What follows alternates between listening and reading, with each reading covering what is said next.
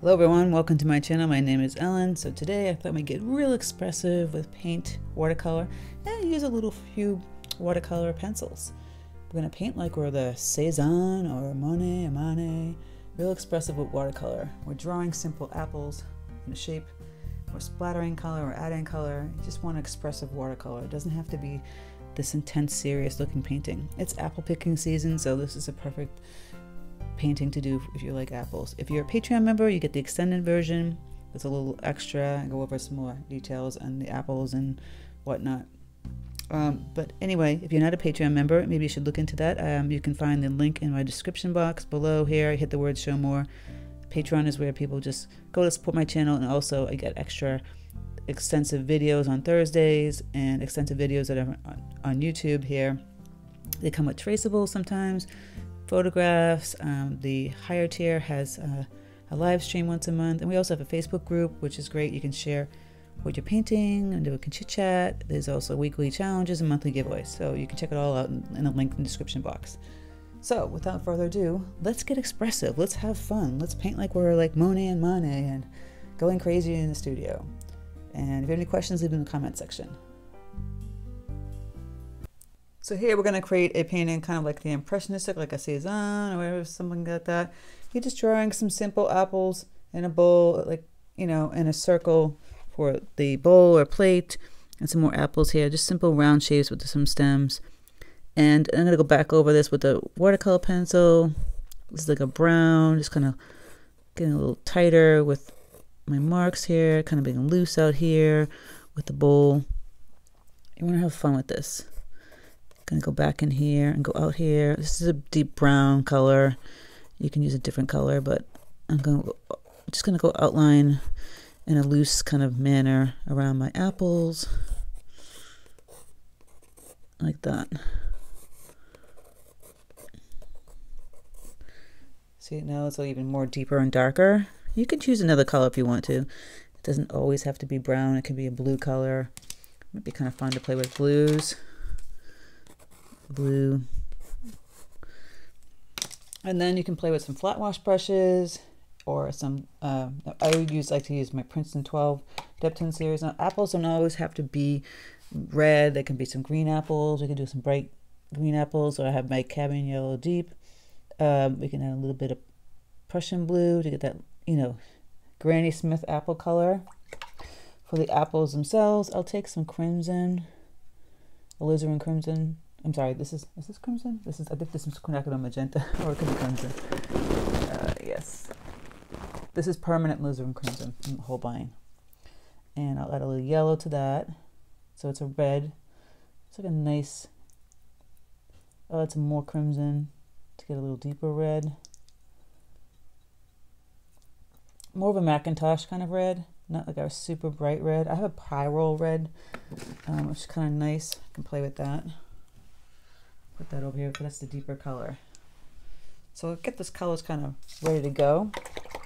Clean up my brush and I can start to play with some of that. Just go in here and I'm really not painting it completely. See, I'm just kind of throwing the color in like really loose, going outside the line, inside the line, making it a little bit brighter over here. I can do another green one. Just expression like that. See how I painted that really super loose? We can put some green and like make it like a McIntosh apple. So again, I'll add some green over here. I'm just tapping that in real quick. Now I'm gonna grab my red. The consistency is pretty loose.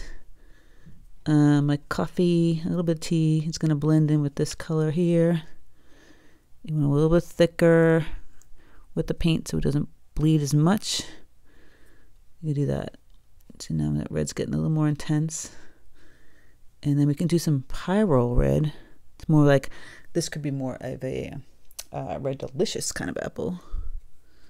Really kind of see how I'm just kind of throwing that color pretty thick, leaving a little white halo right there. That's the apple. The redder one. Grab some of that Pyrrole, put that back here. I like the kind of mixture of the red and green. I lost some of this green in here. I can lift the paint up. I'm going to go back and make some more bright green for this one. So I'll put that in there. I'll let it sit for a second, then I'll add the red. And then I'm going to add red in this one. Um, this is that orangey red I had before. Kind of go around here. And I'll add a little bit pyrrole red going in here. Really just loose. Adding it in while it's damp. You see how just, that's the Expressionists did. They just really didn't have like this perfect little painted thing. While it's still damp with some of the colors, the green, we can add some deeper green. I'm actually adding some more Prussian blue, yellow, and a little bit of burnt umber. Kind of getting it down in here for some shadows. Throw some of that in there, maybe even some brown. See, just tapping, tippy tap. a little in here where the stem's going to go, and definitely in here, a little brown, a little green. You can add some of the same brown kind of happening in the stem area here. Play with that a little bit. Cleaning off my brush. Now I'm going to go back in and add that red in here. I'm going to use cadmium red light and some magenta, um, um, crimson. It's a little too wet.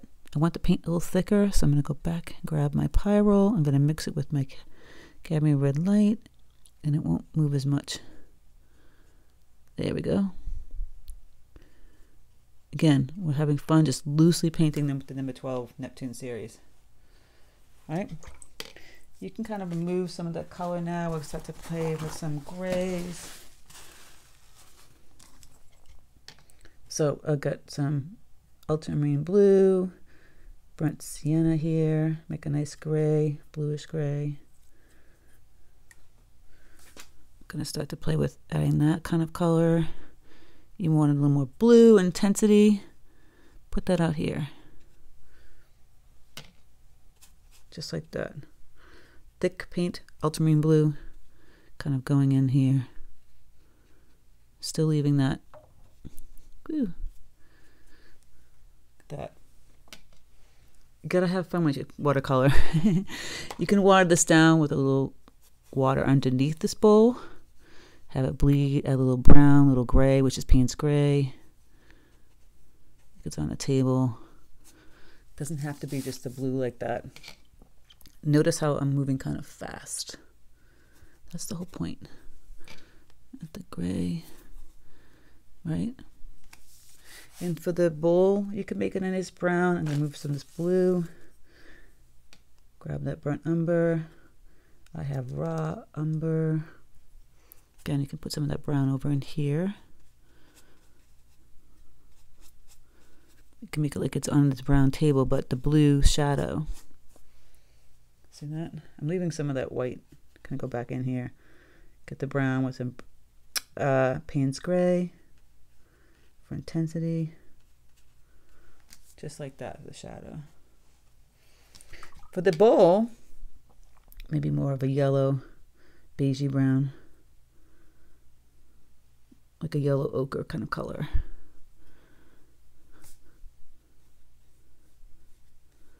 Or even a little orange or something like that.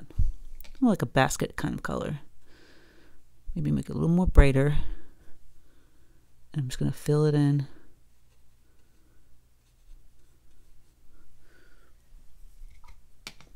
Except leave this part a little bit lighter on the ends here. Gonna grab a little of my gray. Gonna tap that in here. This is the Payne's Gray for the depth inside the bowl and a little outside here. It's still damp. Grab that ultramarine blue. I'm mixing it all up in here. A little shadow. Get intense with this stuff. A little, it's getting a little too wet, so we'll just tap this a little bit with a paper towel move some of this paint and adds a little texture. Right, and out here I'm going to blend and bleed some gray. Out here,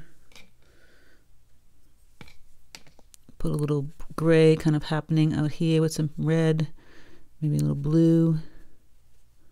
You can splatter a little bit, grab some brown, the yellow, tap it, splat it. You get some little texture happening. Really kind of fun, right? Let's get this bright yellow back in here with this wonderful apple. Right, and then in here, we've got kind of bled this guy a little bit. We can kind of lift it up, remove some of that paint.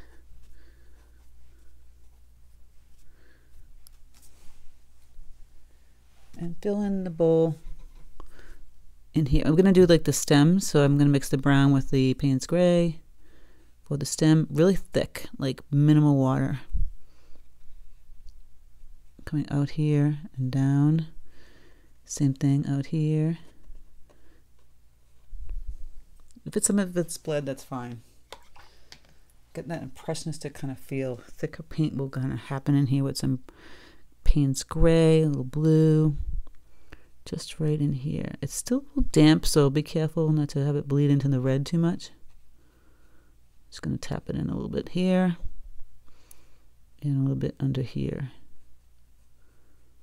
That yellow area. Now they're kind of like popping up the page a little bit. I really like the ultramarine blue. So I'm going to go back and put some of that in. Some beautiful intensity color. Remember, it's an expression. Really thick. Look at that intensity of that blue. Gonna go out to the side.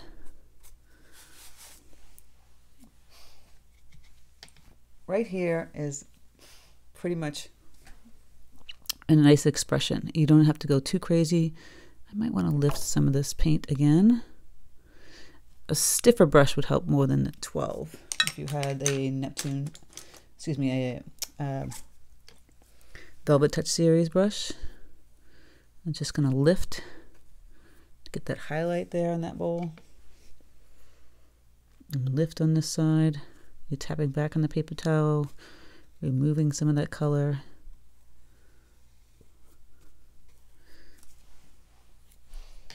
Just like that. Use the brush to have fun with this. Again, I'm going to go back and add a little more red in here. If you need a little shadow, you can grab some blue, a little bit of Payne's Gray. Kind of put the shadow underneath this apple because this one's in front of it. See how it's bleeding into that? I feel like this one just got a little flat. So we can kind of remove a little bit of this paint too. Again, just tippy tap. Kind of blend that back in there. It looks a little more 3D and get a deeper red with the pyrrole red, a little color on the bottom here too. I wanted my apples to have a lot of expression. You can see it already happening here. If you see like the little white, I don't mind the white. You can add a little, um, the bright green, maybe a little bit deeper, deeper green here on this side to get rid of some of that white that makes no sense. And that's pretty much it. You can play around with scraping, but the intensity of color, moving the paint with a credit card. Right here is a great expression of painting. Simple, we've done it under like 12 minutes. Um, if you want to add a little more detail, you can take the take some colored pencils, go in and draw in some color. You know, I'm doing a little orange a little green. You can add some stems. You can add some leaves. Play around with that. Didn't have any leaves here. Again, going back in with the colored pencil. Even use a charcoal pencil. Get more intensity with the color with the black for the expression. I've used this many times, and when it gets wet, it's kind of cool what happens to it. Right there. Um, you can use some salt in here. Again, like kind of twisting and turning the paper gives it a little more texture too, which is kind of fun. But you really want to have some intensity with the color. My whole point is to get real intense with the color. So you can go back in with just a really bright, thick ultramarine blue. Get right in there. See, now the paint is really thick. You can really highlight the apple and the bowl with that blue. Going right around that. And just really make it come out, come alive. You can go in with the blue inside the apple here if it did show up, you can kind of lift some of this color. And I'll go back in with the blue. So you see the blue intensity of the color happening right here. Now it kind of shows, right? Why not put some other colors? You want to put some bright yellows. We've got a lot of greens here, but even just bright yellow, thick, right out of the tube. You can start to play with some color. And that's that. Really kind of simple, kind of fun. You want to add a little wash of color in the background, a little beige, a little yellow, a little gray, splatter a little color. Maybe it could be even orange. Little orange, gray color. Really See, I'm just doing some simple colors back here for effect.